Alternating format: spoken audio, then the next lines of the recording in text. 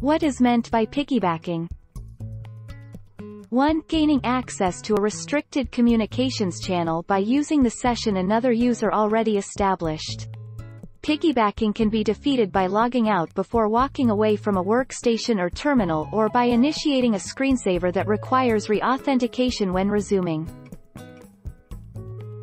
Don't forget to subscribe for more of these videos.